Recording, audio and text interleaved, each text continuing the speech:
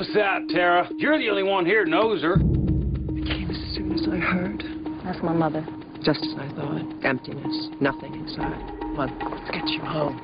I don't know how you found me, but I assume this is what you came for. Oh, you sweet thing. It's not your money I want. How long have you been here?